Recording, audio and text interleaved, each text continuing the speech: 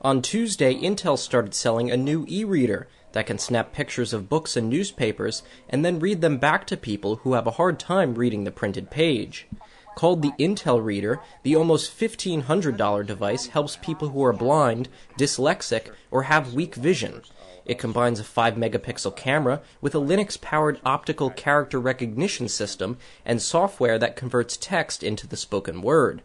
With 2 gigs of storage, it can store about 600 snapshots of scanned pages.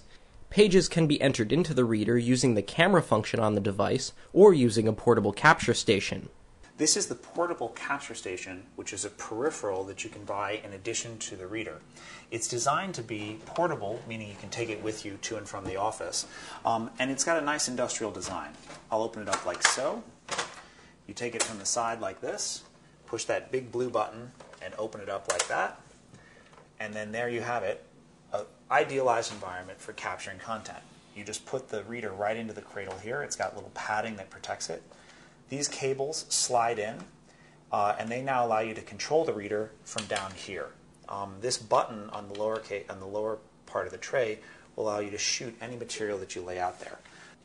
So you can take a newspaper, lay it right down, uh, the full half of that, and then you have a button down here that allows you to um, press it at any point and capture that image. Focusing.